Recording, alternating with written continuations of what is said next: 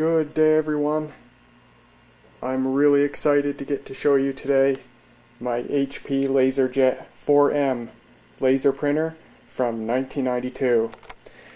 This is going to be a full overview and demonstration of the printer as well as a look into all of its features and a little bit of the history as well. I figure first and foremost I will start with a preface for this video. First of all, the LaserJet 4M is nothing but the Macintosh version of the standard HP LaserJet 4.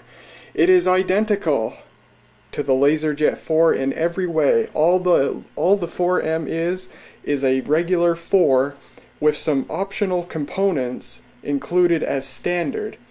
The 4M is otherwise identical to the 4 in every way, even the firmware identifies it as a LaserJet 4. All the demo pages and test pages identify it as a LaserJet 4. And a plug and play operating system that has support for the LaserJet 4 and 4M will also detect this as a standard LaserJet 4 unless you specifically tell it that it's a 4M.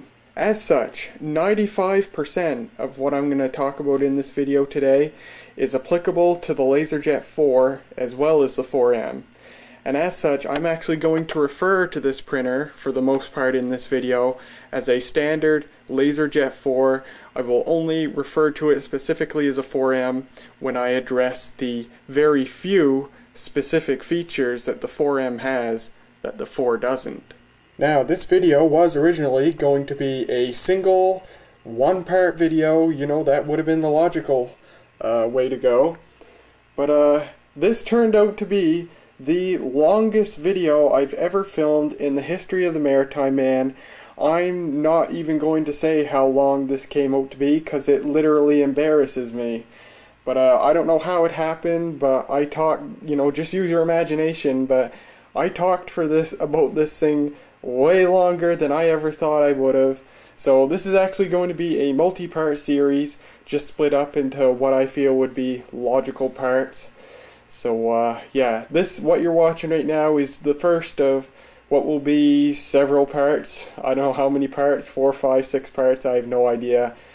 And I, I hope I hope you guys like learning a ton of stuff about one particular thing that normal people wouldn't give a crap about because that's what you're gonna get. You know, I wouldn't feel right to present something like this and not give you the whole story, give you everything you ever wanted to know or never wanted to know about it. So uh, that's what I'm going to do, but rather than upload it as one single video and embarrass myself more, I think I'll just split it up into multiple parts. That way it should be more watchable.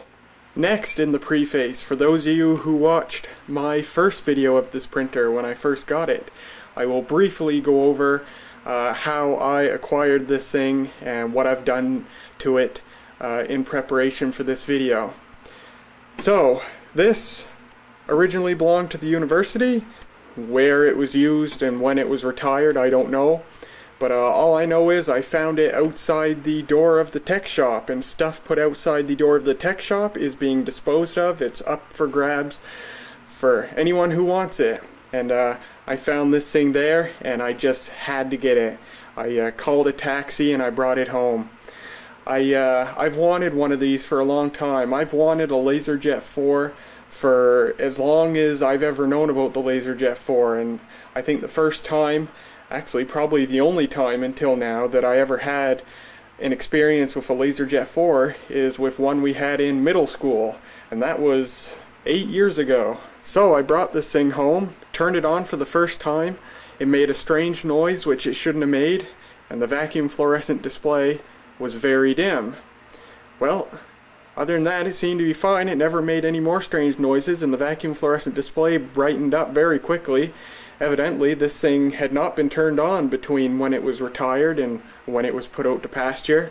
That's why the display was so dim. It is no longer dim when you turn it on. It starts right up at full brightness. So that's evident of something that has not been turned on for years and years. Second, when I tried printing on this thing, it jammed at the final exit roller here. So all I did was I cleaned all the exit rollers. I probably didn't even have to. I just took a Q-tip and some isopropyl alcohol and just cleaned the rubber rollers and uh, it's still jammed but as I tried again and again eventually it just started working and uh, I've printed almost a 100 pages on this thing since I got it and I think it's only jammed once or twice, so that's pretty nice. My LaserJet 4P, which I got a couple of years ago, was the same way. It jammed when I first got it, but as I started using it more and more, it got better, and now that works just fine as well. So yeah, it feeds the paper through fine. Other than that, uh, it was giving the toner low message, and it left black streaks on the paper. Well, I bought a brand new, new old stock toner cartridge from eBay, and that's all this thing needed left to work perfectly. It now prints absolutely perfect, and this printer now works absolutely perfect in just about every way. Very, very nice. Kind of odd though, a funny story. Um, a couple of weeks after I acquired this thing, I brought it home, back home to Mom's house, because that was where the new toner cartridge I got for it was shipped. So I wanted to bring it home so I could try it out immediately with the new cartridge. And after I got it home, this thing wouldn't work at all anymore. Whenever you tried printing, the paper would barely get into the feed mechanism, you know, it, like one second after it started feeding the paper, it'd throw a paper jam error. And I just could not figure out what was going on. I checked everything, there was no stray paper anywhere. I just couldn't figure out what was going on, so I started taking the printer apart. LaserJet 4 is extremely easy to take apart. It was designed from the ground up to be very serviceable. And part of what makes it so nice to take apart is that a lot of the components of the printer are, are arranged into assemblies. So if, if say a gear breaks, just as an example, if a gear or a wheel or something broke somewhere in the printer, you wouldn't replace that individual gear or wheel, you would replace the entire assembly. There's, an, there's a feed assembly, so the entire assembly that deals with bringing the paper from the paper cassette into the printer. Then you have, then it goes through the toner cartridge and the transfer roller. Then the paper goes through the fuser. The fuser is one whole single assembly that can be replaced if anything on it breaks. Then it goes through the exit assembly. The exit assembly is also an entire collection of parts that deals with bringing the paper out to the output tray. And while it is more expensive to service the printer that way, it does make it much easier, much quicker, less downtime, and uh, it's more reliable overall because if you know if if one small part breaks, you get to refurbish that entire assembly, put a whole new assembly, and the, it just makes the printer more reliable and it extends its life. So I had it apart, you know, I uh, I took the outer housing off and I looked at the feed assembly and nothing looked uh, out of place there and I put it back together and it would still act the same. So I took it apart even further. I removed the exit assembly and the feed assembly. And well, wouldn't you know it, when I removed the feed assembly, two bits of plastic fell out of it. So I thought, well, maybe that had something to do with it. I couldn't find where the plastic uh, bits came from, but I put it back together and lo and behold, it worked. So evidently those two bits of plastic I think they are were already there before the printer quit working, but I think what happened was the car ride from here to Mom's house jostled those plastic bits in such a position that they started tripping one of the paper jam sensors, and that's why this thing would immediately give a paper jam upon trying to print. So I'm glad I fixed that. No problems anymore. I did later find where those plastic bits came from, and uh, it's something interesting. You guys, if you watched the first video I made of this printer, when I opened the uh, multi-purpose tray and I tried to close it again, I couldn't close it. I know I'm, in the video I'm like, why can't I get that closed? But it turns out the reason I can't get it closed is because it's broken. That there should be a complete circle, and that's where one of the plastic bits broke off. And there's the other right there. So that's where the plastic bits came from, and they would have fell in there into the feed assembly. So this part is supposed to be on those round pegs right there. So the tray is supposed to only come down to here, and then it just buttons back up. But uh, it's broken. So you gotta lift it up like this. And then close it up.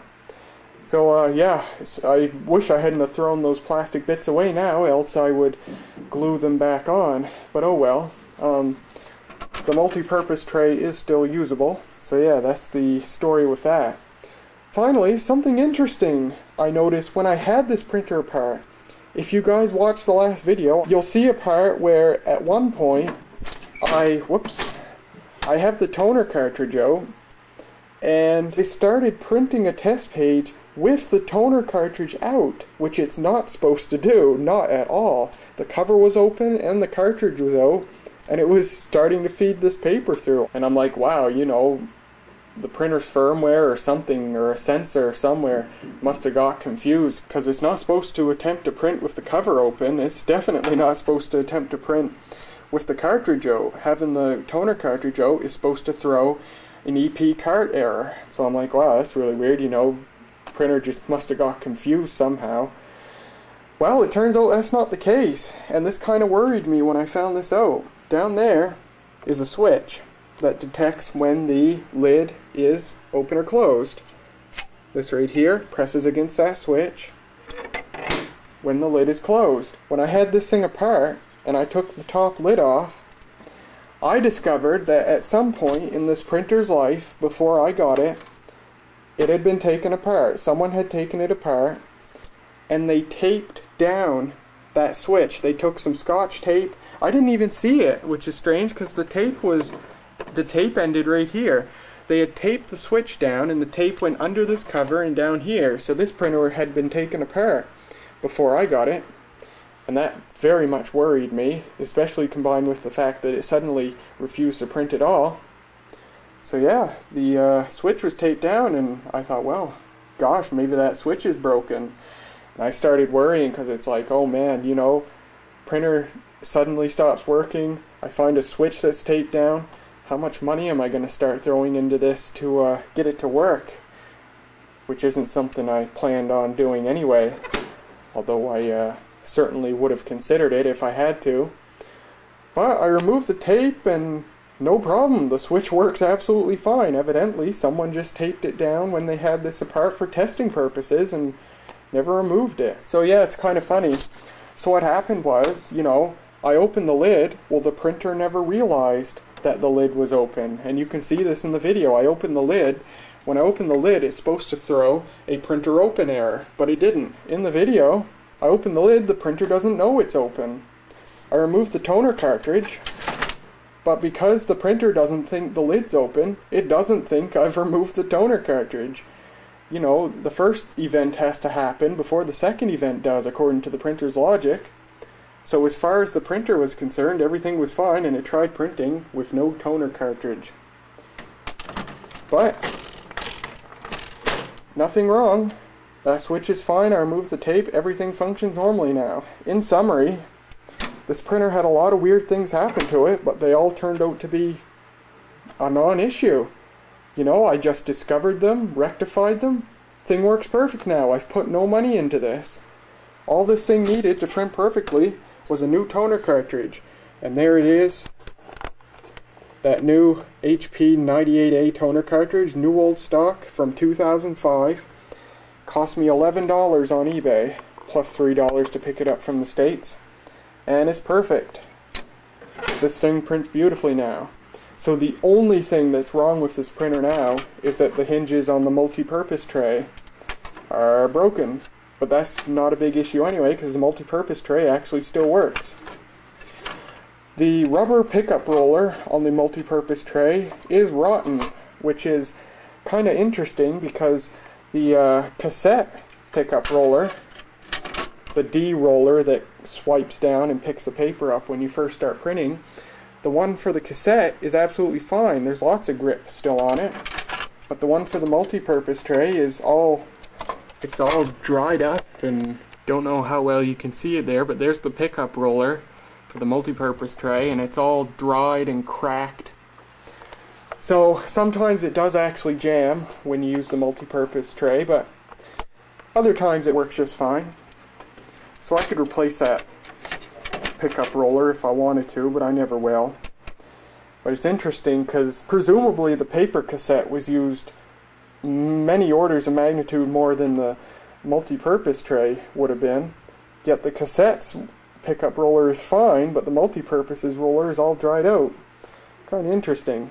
Well, that concludes the first part in our series on the HP LaserJet 4M printer from 1992.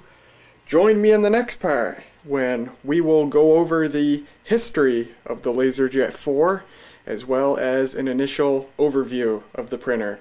I really hope you'll join me and I hope you guys enjoyed this part and I'll see you in the next one. This is one of the most revered, if not the most revered, computer keyboard of all time. These are so famous, not only in the vintage uh, computing community, but the computing community as a whole.